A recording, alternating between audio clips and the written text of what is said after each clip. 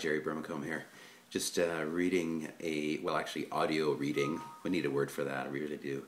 Uh, a uh, the, the Way of the Peaceful Warrior book by Dan Millman. And uh, there's one quote in there I really liked, and I thought it was relevant to what we do here at Sector.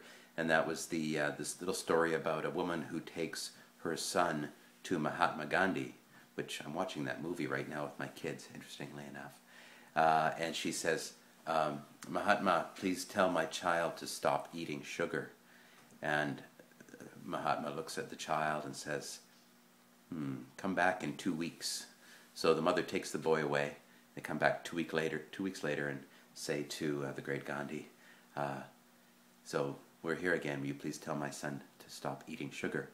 And Gandhi looks at the boy and says, "Stop eating sugar."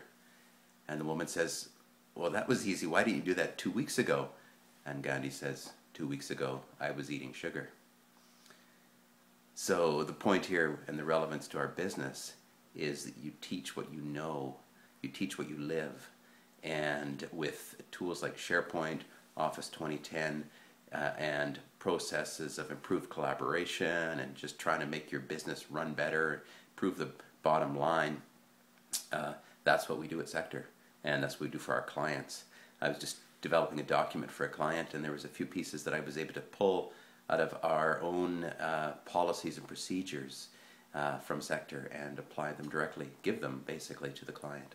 So, uh, yeah, we're practicing what we teach, practicing what we preach. So, uh, having a good time.